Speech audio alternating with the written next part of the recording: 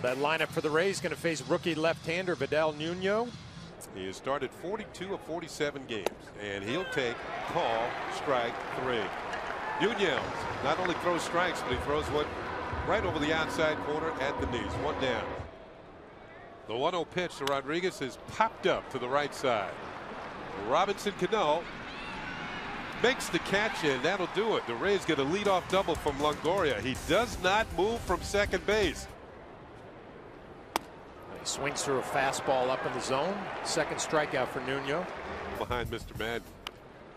Luke Scott, first pitch swinging, soft ground ball to Nuno, makes the play. One pitch, one out here in the fourth. But he goes the other way. Just like he did his first at bat, Loney's going to fly out to Vernon Wells in left field. So it's four shutout innings for Vidal Nuno. Look very impressive here this afternoon. Ground ball. Adams has it.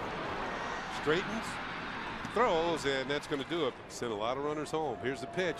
Hit on the ground. This could be two. Nix to Cano for one. On the overbay, and there's your double play. 6-4-3 double play.